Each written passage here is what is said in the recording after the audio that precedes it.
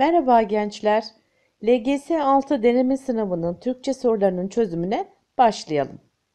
Birinci sorumuz sözcükte anlam konusuyla ilgili. Bu metinde bakmak sözcüğü aşağıdaki anlamlardan hangisine karşılık gelecek şekilde kullanılmamıştır diyor sorumuzda. Okuyalım metnimizi. Hakan bugün de iş yerine erken geldi. Buranın hem temizliğiyle ilgileniyor hem de getir götür işlerine bakıyordu. İşinden kazandığı parayla da evde altı boğaza bakıyordu. Hakan gelir gelmez yine işe koyuldu. Önce bulunduğu odanın limana bakan camlarını sildi. Sonra da duvardaki büyük aynayı. Bir ara aynada kendisiyle göz göze geldi ve şu mısralar döküldü dilinden. Zamanla nasıl değişiyor insan? Hangi resmime baksam ben değilim.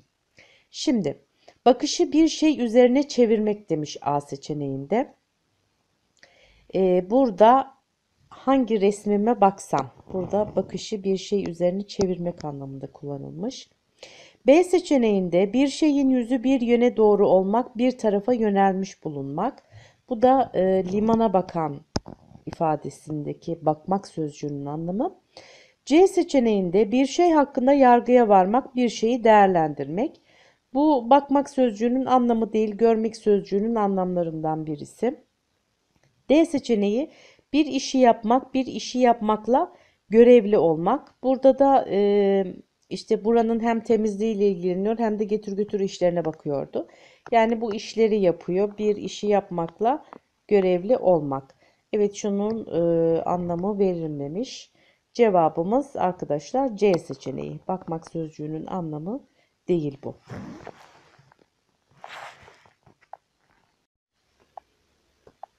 İkinci sorumuz. Ee, soru kökünde diyor ki buna göre meleğin yazdığı sözler aşağıdakilerin hangisinde bir arada verilmiş olabilir? İşte sözcük grubunda anlam, deyimde anlam konusuyla alakalı bir soru bu da. Okuyalım. Çağla'nın resim yapmayı çok sevdiğini ve resim yapma konusunda çok başarılı olduğunu bilen herkes bu becerisini onun için nokta nokta bir olarak görüyordu. Çağla tıp fakültesini kazanınca Çağla kesinlikle Güzel Sanatlar Fakültesine gider diyen herkesin nokta nokta 2. Evet iki tane boşluk var. Canan öğretmen öğrencilerinden tahtaya yazdığı bu metinde numaralandırılmış boşluklardan bir numaralı yere güveneceği bir şeyin bulunması anlamında bir söz. Buraya. E, iki numaralı yere ise şaşırmak anlamında bir söz yazmalarını istemiştir. O da buraya. E, Melek bu soruyu doğru cevaplamıştır. Buna göre Melek'in yazdığı sözler aşağıdakilerin hangisinde bir arada verilmiş olabilir?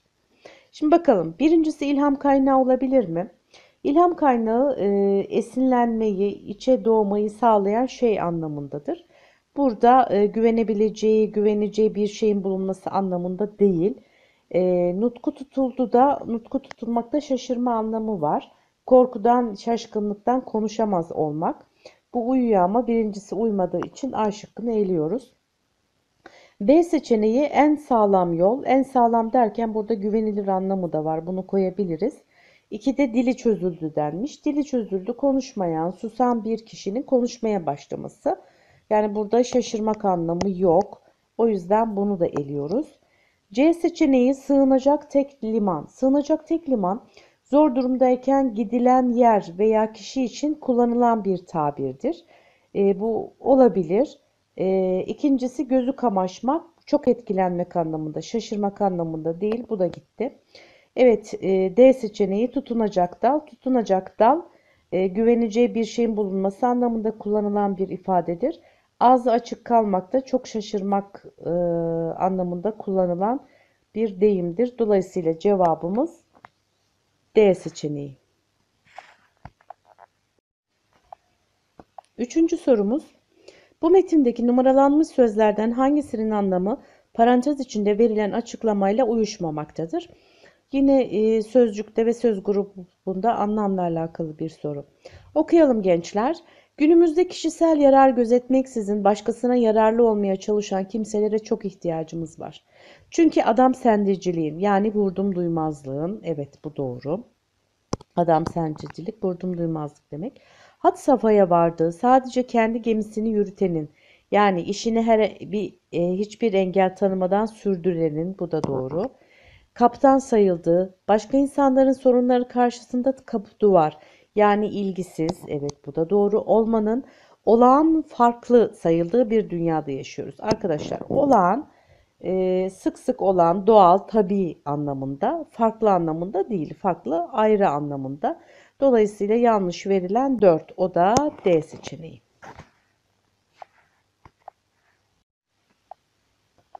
Dördüncü sorumuz. Bu metinde dede ve torunla ilgili aşağıdakilerden hangisine değinilmemiştir? Bakalım.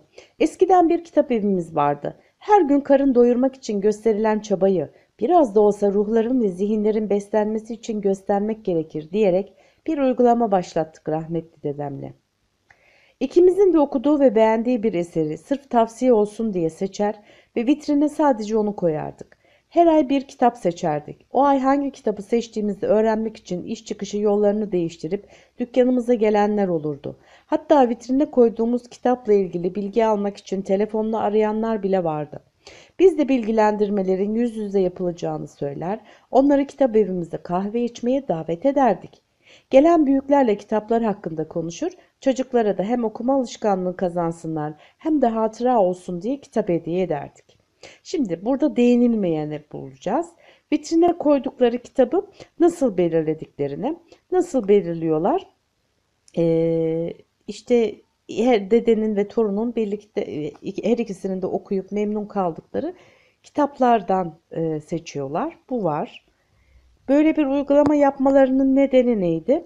Her gün karın doyurmak için gösterilen çabayı biraz da olsa ruhların ve zihinlerin beslenmesi için göstermek gerekir diyerek uygulamayı başlatıyorlar. Burada da var. E, buna da değinilmiş. Her ay farklı bir kitap okumalarının nedeniyle her ay farklı bir kitap okumuyor dede torun. Daha önceden okumuş oldukları kitaplar her ikisinde okuduğu kitaplardan seçiyorlar ve her ay bunun bir tanesini koyuyorlar. Yani her ay farklı bir kitap okumuyorlar. Çocukları kitap okumaya teşvik etmek için başvurdukları yöntem bu da neydi? E, kitap hediye ediyorlardı. Bu da var. Değinilmeyen arkadaşlar C seçeneği. Beşinci sorumuz iki tane metin var. Bu metinde sanatçıdan bahsediyor ve sanatçı ile ilgili üç tane yargı verilmiş. Bu yargılardan hangileri her iki metinden de çıkarılabilir diyor. Birinci metnimizde sanatçı elde ettiği başarı ve beğeniyle yetinmez. Elinde fırçayı ya da kalemi her alışında beğenilerine yepyeni beğeniler kazandıracak özgün kelimeler yapar. Bu sayede ortaya koyduğu her yeni eserle hem kendini hem de sanatını geliştirir. Sanatçının gözünün hep var edilmeyen de oluşunun nedeni de budur. İkinci metin, sanatçı algılama aynasını nesneler veya kavramlar üzerinde gezdirmekle yetinmeyip, ona kalemiyle fırçasıyla kendi tarzına has yeni biçimler veren, her defasında daha da güzeli için çabalayandır. Ortaya koyduğu eser tüm insanları muhatap aldığı için de evrensel bir kimlik taşır. Şimdi buradaki sanatçı kavramı ile ilgili tüm dünyaya hitap edebilmeyi başaran kişidir. Tüm dünyaya hitap edebilmesi sadece ikinci metinde var. Evrensel kavramından e, çıkarıyoruz bu sonucu. Yeni eserler ortaya koyarken kendinde de değişimler yaşayan kişidir. Ee, bu da birinci metinde var. Şurada diyor her yeni eserle hem kendini hem de sanatını geliştirir. Ama ikinci metinde kendini geliştirirle ilgili bir ifade yok. Şunları çizelim. Evet 3 kaldı. Ele aldığı kavramı ya da nesneyi taklit etmez. Öznel olarak ifade eder. Evet şurada e, ikinci metinde kendi tarzına has biçimler diyor. Ve birinci metinde de özgün var. Bunlar e, öznel olmanın, e, taklit etmediğinin e, göstergesi. Dolayısıyla e, yalnız 3'e ulaşabiliyoruz her iki metinden de. Cevabımız Bursa.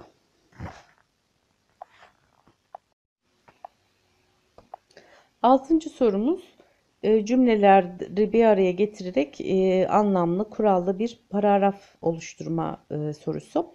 Numaralandırılmış cümlelerle anlamlı ve kurallı bir metin oluşturmak için sıralama aşağıdakilerden hangisi gibi olmalıdır? Birinciye ne yazmışlar? Bebeğin böyle bir beklenti içinde olmamasını anlıyorum. Çünkü bebeğin yaşı itibarıyla bu durumu henüz tecrübe etmemiş olması doğaldır. Bu birinci cümle olamaz. Çünkü böyle diyor. Öncesinde bir şey anlatmış. Toplu taşımada iki okuyorum. Toplu taşımada yolculuk eden genç bir anne koltuğa oturur oturmaz bebeğinin eline cep telefonunu veriyor. Evet bu birinci cümle olabilir. Ee, üçüncüde yazılmış. Genç annenin insan karşısındakinin gözlerine bakarken aldığı keyfi bilmiyor olabileceği geliyor aklıma ve üzülüyorum. Bu da öncesinde bir şey anlatılmış ki e, üzülüyor. Bebeğinin eline telefon vereceğine gözlerine bakıp konuşarak ona ilgi gösterdiğini belli edebilseydi diyorum içinden. E, diyor dördüncü cümlede. Ama bu e, metnimizin ikinci cümlesi olabilir. Çünkü neden? Şimdi sıralama yapacağız. Bir önceki cümlelere bakmamız gerekiyor. Toplu taşımada yolculuk eden genç bir anne koltuğa otur oturmaz bebeğin eline cep telefonunu veriyor. İkinci, bebeğin eline telefon vereceğine gözlerine bakıp konuşarak ona ilgi gösterdiğini belli edebilseydi diyorum içimden. Ee, bebeğin böyle bir beklenti içinde olmamasını anlıyorum. Çünkü bebeğin yaşı itibariyle bu durumu henüz tecrübe etmemiş olması doğaldır. 3. Sonuncusu da genç annenin insanın karşısındakinin gözlerine bakarken aldığı keyfi bilmiyor olabileceği geliyor aklıma ve üzülüyorum. Üç cümlede olayı anlatmış ve en sonunda kendi görüşünü de katarak sonuca bağlamış. Bu sonuç cümlesi. Dolayısıyla ne oldu arkadaşlar? 2 4 1 3 2 4 1 3 Bursa.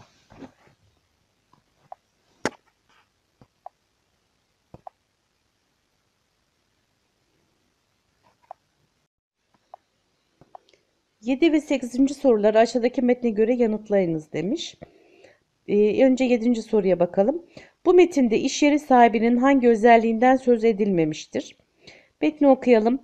Bizim küçük bir iş yerimiz vardı. Burada hem içeriğiyle damaklara bayram tadı veren 12 çeşit Türk kahvesi yaptık hem de Türk kahvesi ile ilgili materyalleri sergiledik. Bu malzemeler zamanla çoğaldığı için onları daha büyük bir alanda sergileme ihtiyacı hissettik ve eski bir konakta ilk kahve müzemizi açtık. Bu mekanda kahve tanıtımında daha çok sunuma önem verdik. Mesela eski şerbet kültürünü canlandırmak için hazırladığımız kahve ile sunulan özel ve leziz bir şerbeti konuklarımıza kahve fincanları ile uyumlu olacak şekilde renkli bardaklarda ikram ettik. Süt ile pişirilen ve sunumunda üzerine fıstık eklenen Tatar kahvesi en çok ilgi gören kahvemiz oldu. Sonraki adımımız ise bir Türk kahvesi festivali düzenlemek. Şimdi bu e, kişi tarihi mekanların tanıtımına önem vermesinden, bu özelliğinden söz edilmiş mi? Hayır özel, bu özelliğinden söz edilmemiş. Tarihi mekanlara önem verdiğinden de söz edilmemiş. Sadece eski bir konakta bir ilk kahve müzesini açmış. Buradan biz tarihi mekanların tanıtımına önem veriyor diyemeyiz arkadaşlar. Belki böyle bir özelliği var ama bu kişinin bu metinden çıkaramıyoruz. Cevap A seçeneği ama diğer şıklara da bakalım. Yeni fikirlere ve değişikliklere açık olmasından. Evet sürekli e, kahve tanıtımı ile ilgili yeni yeni e, şeyler yapmış, işler yapmış. İşte şerbet kültürünü canlandırmaya çalışmış, sunuma önem vermiş. E, önce bir küçük işletmesi varmış, bunu eski bir konakta açmış. İşte ileride de bir festival düzenliyor. Bu yeni fikirlere ve değişikliklere açık olmasından kaynaklanıyor bu anlattıklarım. Bu var. Kahvenin sadece içeriğinin güzelliğine değil görsel güzelliğine de önem vermesinden. Zaten sunuma önem verdik diyor. E, sunumda görsel güzellik oluyor. Bardaklar renkliymiş. Kahve fincanlarıyla uyumluymuş. Bu da çıkıyor. Ee, geçmişe ait bazı kültürel değerleri günümüzde de yaşatmaya çalışmasından. Evet kahve eski bir kültürdür. Zaten burada diyor eski şerbet kültürünü canlandırmak. Ee, dolayısıyla bu da var. Cevabımız A seçeneği.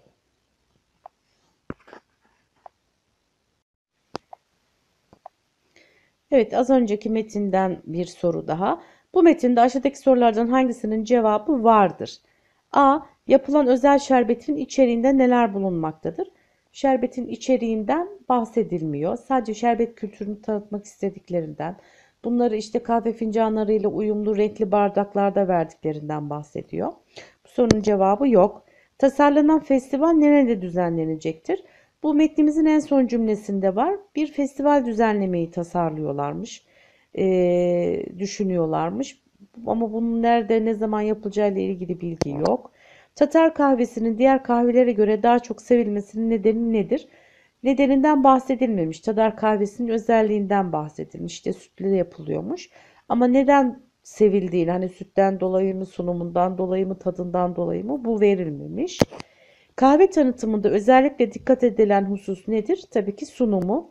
En çok sunuma önem verdik diyor zaten metinde. Bu nedenle cevabımız D seçeneği.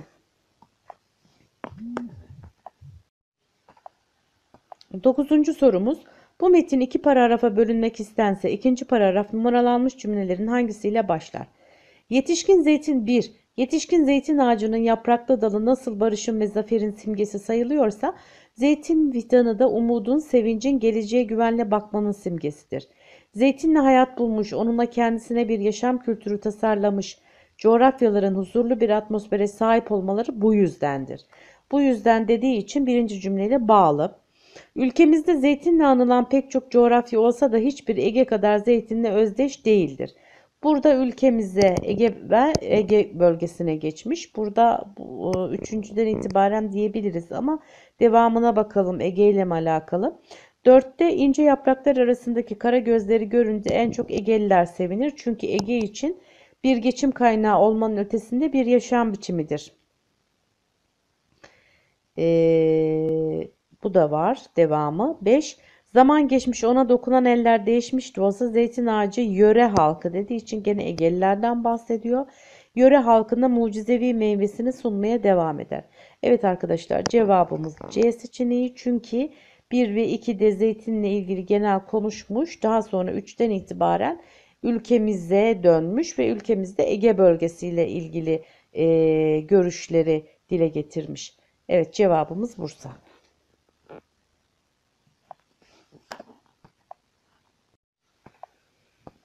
10. sorumuz metinde anlamla ilgili. Astronot ol, e, soru kökünü okuyalım. Bu metnin asıl yazılış amacı aşağıdakilerden hangisidir? Astronot olmak için üniversitelerin STEM yani bilim, teknoloji, mühendislik ve matematik alanlarındaki bir bölümden mezun olmanız gerekiyor. Ayrıca gözlerinizin sağlıklı olması, farklı uzay görevlerini yapabilmek için de boyunuzun 150-190 cm olması gerekiyor. Çünkü uzay giysileri bu aralıktaki boylara göre üretiliyor. Uzay görevlerinin zorlu koşullarına uyum sağlayabilmeniz için fiziksel ve bilişsel durumunuzu ölçen testleri de geçmeniz gerekiyor. Bu şartları sağlayamıyorsanız da üzülmeyin. Uzay çalışmalarında yalnızca astronotlar görev almıyor elbette. Neden uzay araçlarını üreten bir mühendis, astronotları görevi hazırlayan bir uçuş doktoru ya da astronotlara rehberlik eden uçuş kontrolörü olmayasınız? Evet. Ee, asıl yazılış amacı A'da demiş ki uzay çalışmalarında görev almak isteyenlerin tercih edebileceği meslekleri tanıtmak. Evet. Astronotluğu tanıtmış. Sonra e, işte başka neler varmış? Uçuş doktoru, uçuş, uçuş kontrolörü. A bir dursun B'ye bakalım. Astronotların yaşadıkları zorlukları dile getirmek.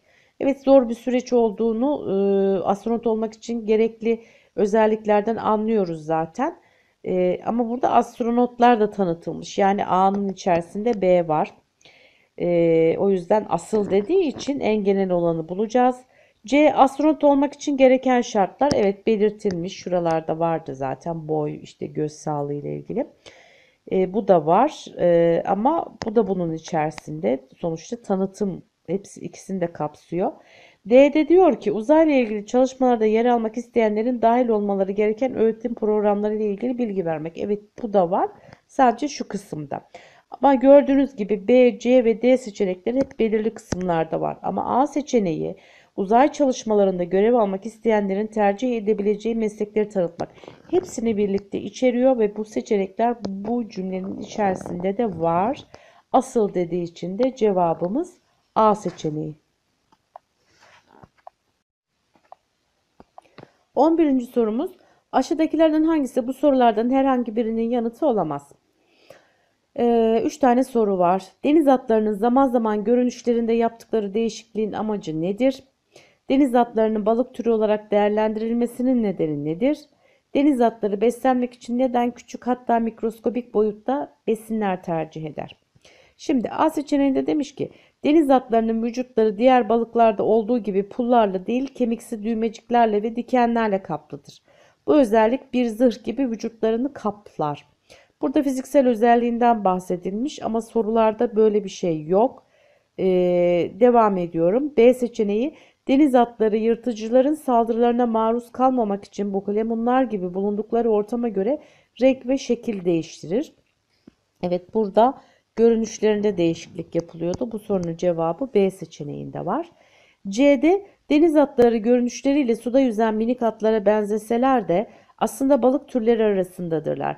Vücutlarında bulunan yüzgeçler ve solungaçlar deniz atının bir balık türü olduğunu göz, gözler önüne serer diyor. Bu da e, ikinci sorunun cevabı. Deniz atlarının dişleri yoktur. Yiyeceklerini elektrikli süpürge gibi burunlarından çeker ve ağızlarına çektikleri suyla birlikte yutarlar. Bu yüzden avlarının çok küçük olması gerekir. Bu da üçüncünün cevabı. Dediğimiz gibi başta A seçeneğindeki e, ifadenin sorusu yok. Cevabımız A. Geldik 12. soruya. Bu metinden aşağıdakilerden hangisine ulaşılamaz? Okuyalım metnimizi. Yeni yapılan bir araştırmaya göre 4500 yıl önce Nil Nehri'nin yatağının bugünkünden farklı ve su seviyesinin de daha yüksek olduğu anlaşıldı. Araştırmacılar Gize piramitlerinin yapım sürecini bu yeni bulgular ışığında tekrar anlamlandırmaya çalışıyor.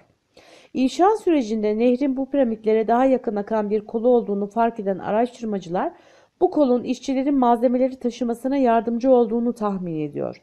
Devasa Gize piramitlerinin nasıl yapıldığı gizemini hala korusa da bir zamanlar var olan bu su yolu sayesinde büyük taş kütlelerini taşıyan taşıtların bölgeye rahatça ulaşılabildiği tahmin ediliyor. Evet bunların hangisine ulaşılamaz? A seçeneğinde diyor ki günümüzde de var olan Nil Nehri'nin geçmişi çok eskilere dayanmaktadır. Evet Nil Nehri hala var ve 4500 yıl önce diyor. Buna ulaşılabiliyoruz. B seçeneğinde Giza piramitlerine yakın bir yerde var olan bir su yolunun piramidin inşasını kolaylaştırılmış olabileceği düşünülüyor.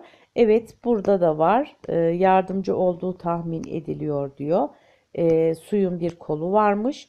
Burada da yazıyor. Bu da çıkabiliyor. Ulaşabiliyoruz. C seçeneği Nil Nehri'nde zaman içinde bazı değişikliklerin yaşandığı tespit edilmiştir.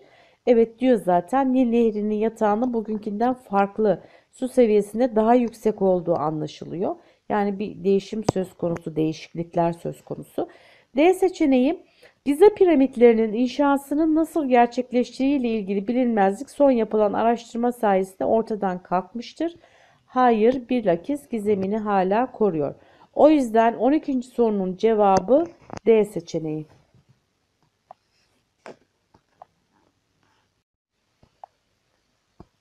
13. sorumuz dil anlatımla ilgili bir soru. Bu metinle ilgili aşağıdakilerden hangisi yanlıştır? Okuyalım metnimizi. Bu sabah şiirler okuyarak başladım güne. Önce Cemal Süreyya'nın şiirlerinde güneşlendim. Sonra Melih Cevdet'in düş ormanlarında dolaşırken Cahit Sıtkı Tarancı'nın şu dizeleri selam verdi bana. Ne yaptın tarlanı? Nerede hasadın? Elin boş mu gireceksin geceye? Bir düşünsen yarıyı buldu ömrün. Gençlik böyledir işte. Gelir gider ve kırılır kolu kanadın. Koşarsın pencereden pencereye. Evet A seçeneğinde diyor ki çaresiz kalmak anlamında bir deyim kullanılmıştır. Evet kolun kanadın kırılması e, çaresiz kalmak anlamında kullanılan bir deyimdir. Bu doğru. Kişileştirme sanatı vardır. Cahit Sıtkı Tarancı'nın şu dizeleri selam verdi derken dizelerin selam vermesi kişileştirmedir. Karşılaştırma yapılmıştır. Ee, burada karşılaştırma yok arkadaşlar. Bu sabah diyor ama önceki sabahlarda ne yaptığı ile ilgili bir bilgi yok. Ya da işte e, farklı şairlerin isimleri sıralanmış. Burada bu şairlerin isimlerini sıralamasının sebebi işte onların e, benzer taraflarını ya da farklı taraflarını karşılaştırmak değil hani sabah şiir okumuş ya kimlerin şiirlerini okuduğunu örneklendirmiş. Dolayısıyla e, D'yi de cevaplamış olduk. Örnekleme var ama karşılaştırma yok. En daha sözcükleri yok. E, o gün böyleydi, bugün şöyle gibi bir ifade yok. Dolayısıyla dediğim gibi cevabımız C seçeneği.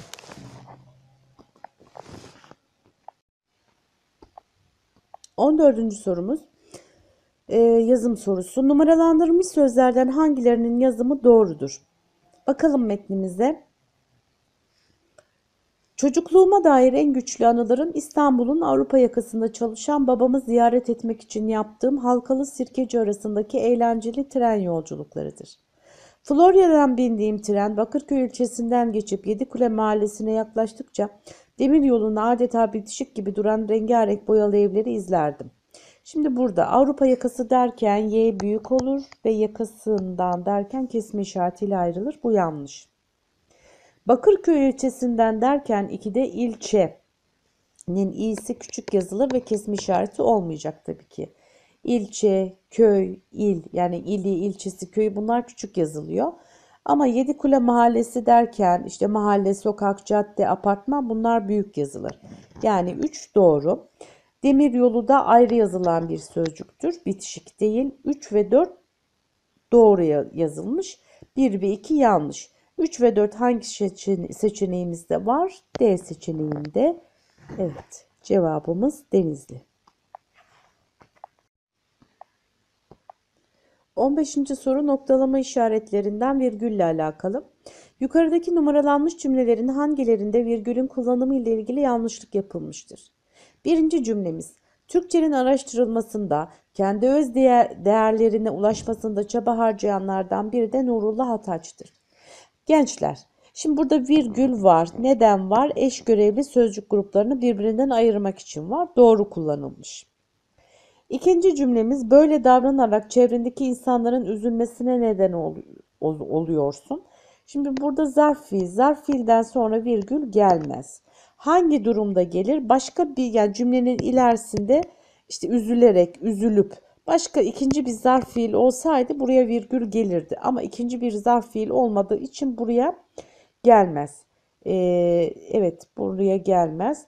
Üçüncü cümlemiz bu anahtar kapıyı açar dedi ve anahtarı adama uzattı. Başkasına ait sözler tırnak içine alınmadığında dedi, diyor, demiş gibi ifadeler varsa ondan önce virgül kullanılıyor. Bu da doğru. Yani şu ikisi doğru. Bize yanlış olanı soruyor. İki kesinlikle olacak. Sonuncuya bakalım. Ya bu deveyi gütmeli ya bu diyardan gitmeli. Şimdi arkadaşlar ya ya hem hem bunlar bağlaçtır ve bağlaçlardan önce e, ve sonra virgül kullanılmaz. Burada da virgülün olmaması gerekiyor. Yani ikinci ve dördüncü cümlelerde virgülün kullanımı ile ilgili yanlışlık yapılmış. O halde cevabımız 2, 4 hangisinde var? C seçeneği.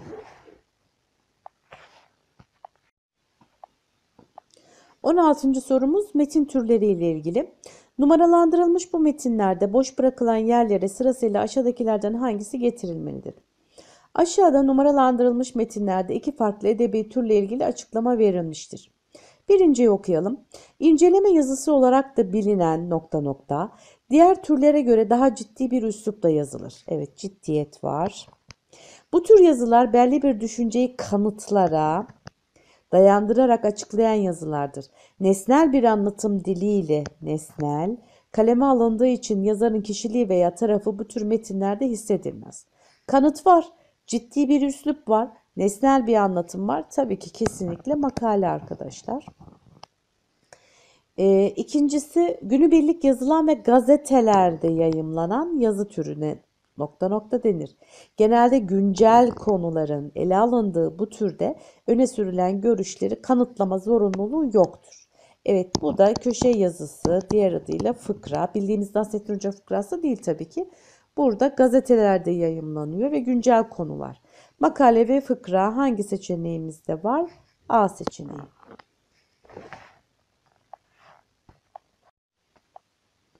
17. sorumuz cümlenin ögeleri ile ilgili. Yalçın öğretmenin cümlenin ögeleri ile ilgili hazırladığı bir etkinlik aşağıda verilmiştir.